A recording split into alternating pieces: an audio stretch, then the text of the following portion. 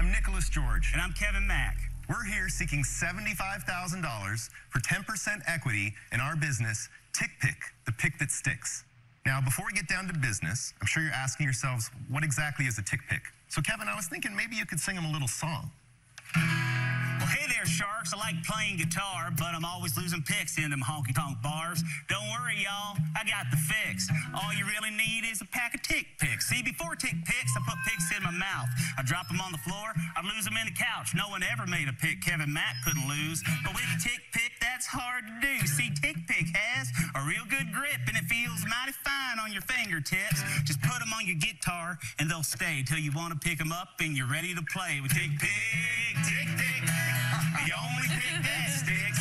Tik Pik, Tik Pik. For twenty nine ninety five, that'll get you six. Yeah, good job. All right, I love it, love it. Uh, Twenty nine ninety five for six of them. Uh, that is not a bad deal if you're not going to lose them. Anyway, welcome back to the Sue, the Joe Pardo show. Uh, we this Shark Tank breakdown. I feel like as it gets later, my brain is just scrambled. Um, we break down Shark Tank uh, pitches here on the channel, and uh, today we have Tik Pik, which uh, is seventy-five thousand for ten percent. This seems like th- this should be a no-brainer. Kevin should be all over this, or Robert. I think Robert did at least one of the guitar uh, based um, deals, but I, I, I want to say, uh, Ke- I mean, Kevin is the guitar player for sure. So uh, seventy-five thousand, ten percent should should be shouldn't even be a you know a, a thought in his mind, but you never know. Uh, anyway, we're gonna check out their website, social media at the end of this, as well as feature one of your comments from down below uh, at the end of this vid- down below in the super community. Sorry, I again my brain is getting getting scrambled here. You guys, thank you. Sharks, we have some samples out in front of you. You guys can all put them on the guitar, see how they stick. Kevin, play something for us. Well, Kevin, if you want, I got that electric sitting up there. If you want to plug that in, This is play. actually the only thing that Kevin is Let's do decent the at. electric. let's do the electric. Okay, yeah. let's do it. Let's do it, Kev. There you go. Let's do blues and E.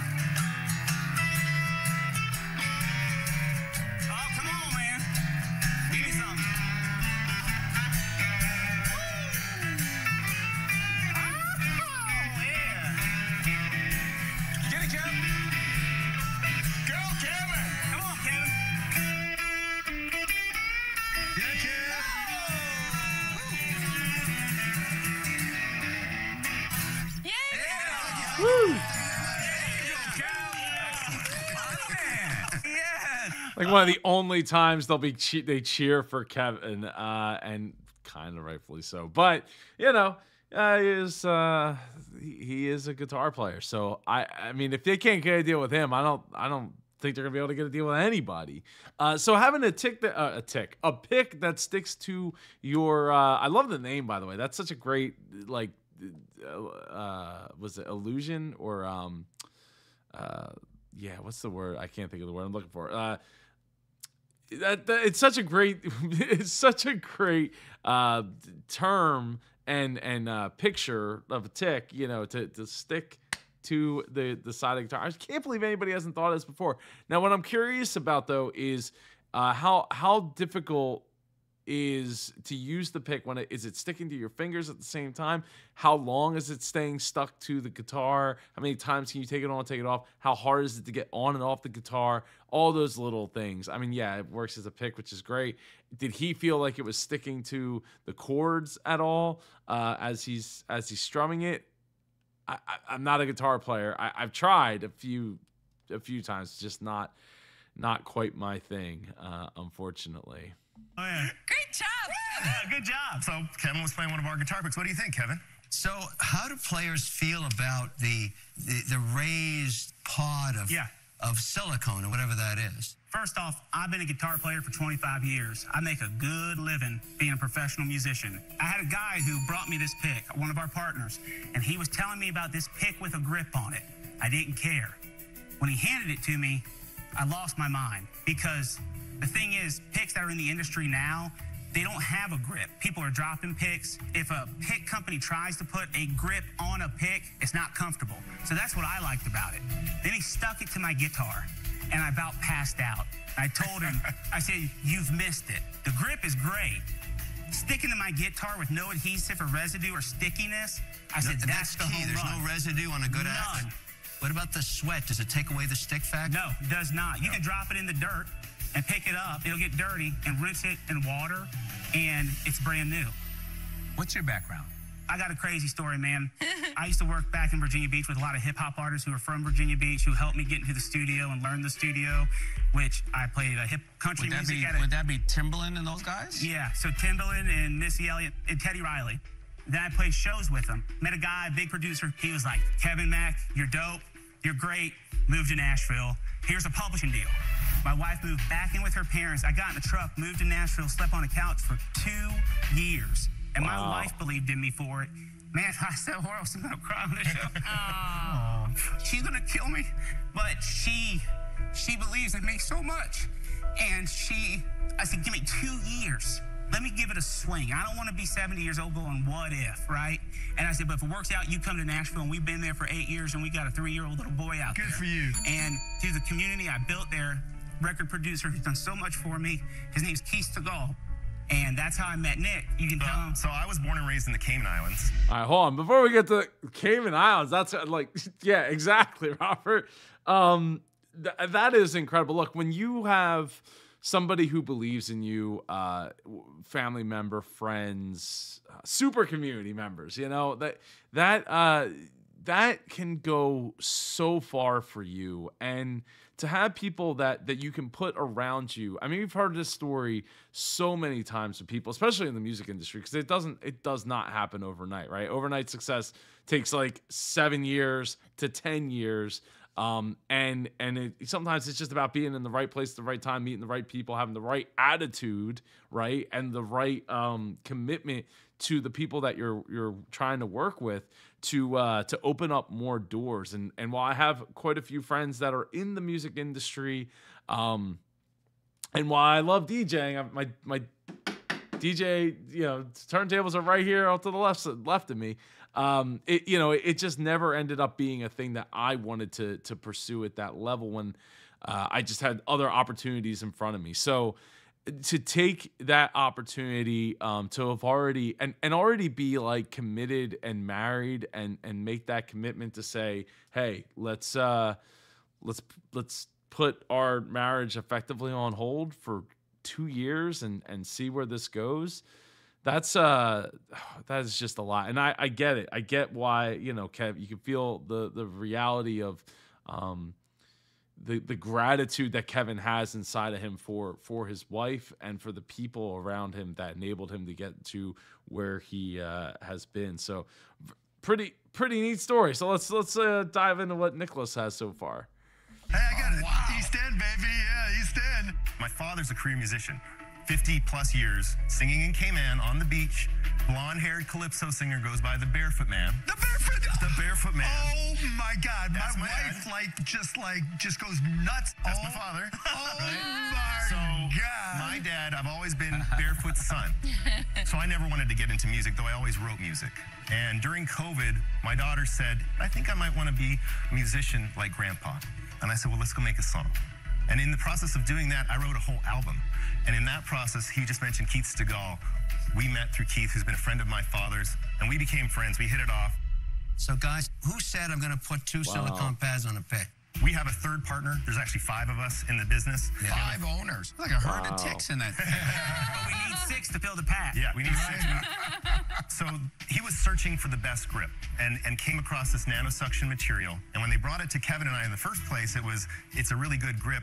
And we just went right past that to sticks to your guitar. I buy that it's a better product. Tell us about the sale. Absolutely. So we've been selling since October of last year, barely eight months. We have a total of $60,000 sales lifetime. We sell a six pack, which is our main product. So that has either one of each of the gauges. We do a thin, medium, and a heavy gauge, or we have a multi pack, and that's two of each gauge in the multi pack. What do you sell it for? What does it cost to make? You sharks are gonna like this. It costs two dollars and forty-four cents landed. For six of them. For six of them in that pack, Right. twenty-nine ninety-five retail, fifteen dollars Wow. wholesale. And Nicholas, are you making any money? Did you make any money on the 60,000? We're expecting this year to have about 120,000 total sales, and we expect anywhere from breaking even to about $20,000 in profit. We sell primarily on our website and on Amazon. We also have four music shops that we've been able to get as wholesalers so far. And our split this year, we're estimating to be about 85% direct to customers and about 15% wholesale. So, guys, how big do you think this could be? So the entire pick industry, I can tell you without naming names, one of the biggest manufacturers of guitar picks sells tens and tens and tens of millions of packs of picks a year. So what is an average cost of 50 a pack of cents. six? This cents. and this is- $5. So you have to be a committed Wow. guitar player. Yeah. No, No, I've had a company talk to me about wanting to put it in new guitar players. They love it for the student. Yeah. They love it for the guitar player coming up. You know what my mom hated most of all?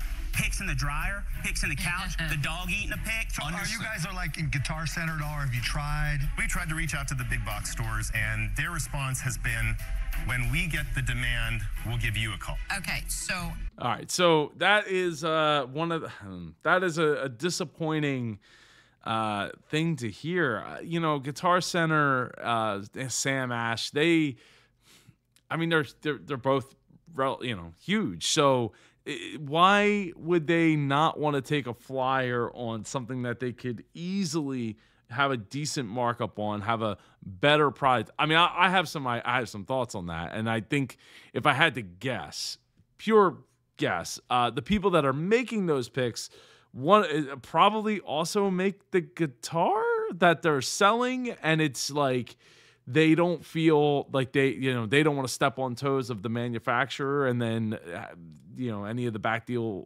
backdoor uh deals that they have with them is is all of a sudden it's a it, you know becomes a problem because they're having some other picks that come through.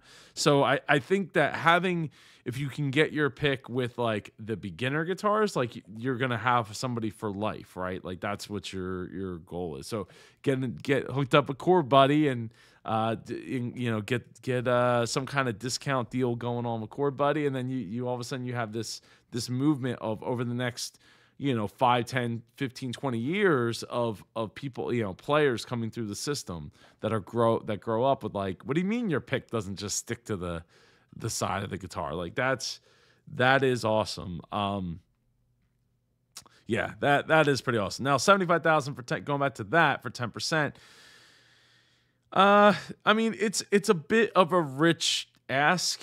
Um i could see a shark wanting to get a lot more but also having three other partners that aren't even there might also kind of scare them away because they they want to make sure they want to know who they're investing with and they're not knowing that by just having uh, these two awesome guys uh, be there. But also, I want to say I don't really believe in coincidences and having uh, the uh, Nicholas's background with his dad and and Mark knowing who that is. Like that's kind of just come on. What's the co- uh, that's a pretty big coincidence.